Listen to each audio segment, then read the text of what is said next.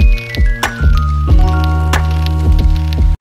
uh, my name is Sneha. Uh, I'm a BCA graduate from CS stream and the year of passed 2023 and uh, I am placed in a Fortune Capital company uh, for role as a software trainee.